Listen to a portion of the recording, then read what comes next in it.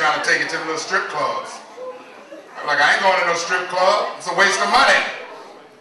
My nephew, you gonna take me in there talking about, uh, we getting ready to make it rain. I say, kill yourself.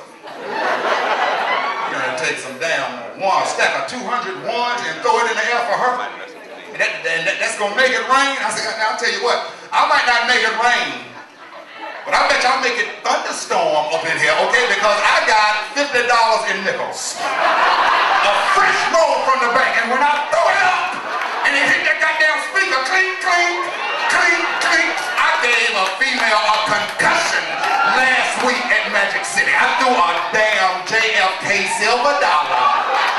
Shit hit her right here above the eye, 16 stitches. I said, get my shit. Get me out this exit door before they kill me.